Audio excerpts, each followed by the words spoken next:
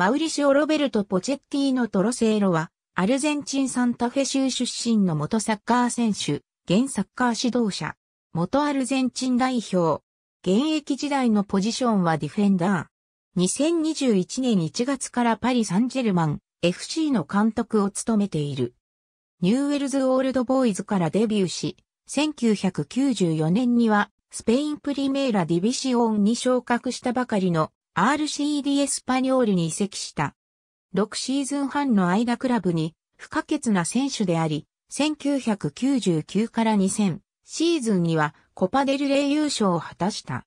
2001年1月、フランスリーグアンのパリ・サンジェルマン FC に移籍し、ここでもレギュラーポジションを獲得した。2003年夏には FC ジロンダンボルドーに移籍したが、半年後には降格の危機に瀕していた古巣、RCD エスパニョールにレンタル移籍で復帰した。2003から04シーズンは最終節でプリメーラディビシオン残留を決めると、2004年6月にはフリートランスファーで RCD エスパニョールに完全移籍し、最終シーズンとなった2005から06シーズン以外はレギュラーとしてプレーした。同シーズンにはコパデルレイで自身2度目の優勝を果たし、34歳で現役引退した。RCD エスパニョールでは2度の在籍期間に、クラブの外国人最多出場記録となるリーグ戦275試合に出場した。アルゼンチン代表では1999年、コパアメリカ、2002年日韓ワールドカップに出場。日韓ワールドカップでは、グループリーグ第2戦のイングランド戦でマイケル・オーウェンへのファールで PK を取られ、ベッカムにこれを決められ、1から0と敗れた。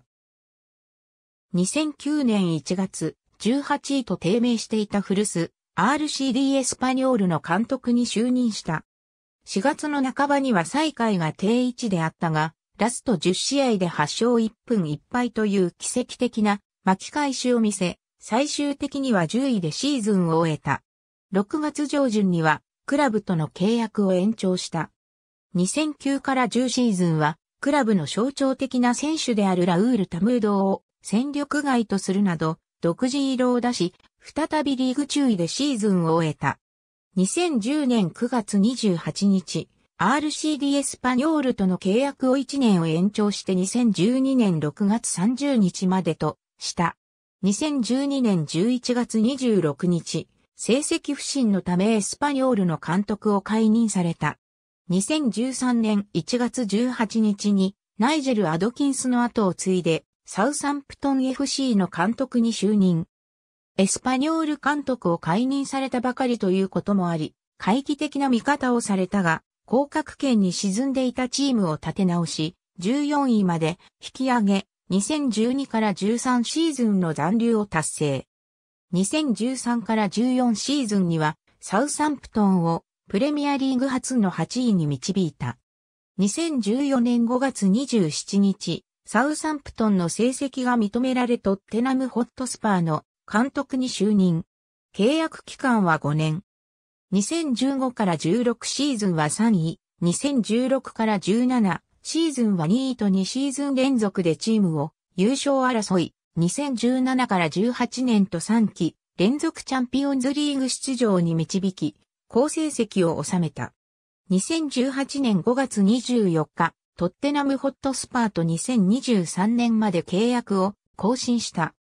UEFA チャンピオンズリーグ2018から19では、準々決勝で同国のマンチェスターシティを準決勝でアヤックスを破り、チーム史上初のファイナル進出へと導いた。しかし、決勝のリバプール FC 戦では、決勝進出の立役者、ルーカス・モーラやフェルナンド・ジョレンテをベンチに置き、その試合まで怪我で長期離脱していたハリー・ケインをいきなり先発フル出場させ2から0と敗北したことが批判を浴びた。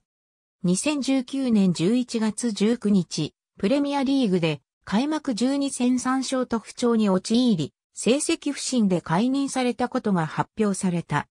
2021年1月3日、現役時代の古巣であるパリ・サンジェルマン FC の監督に就任した。国際 A マッチ20試合に得点。ありがとうございます。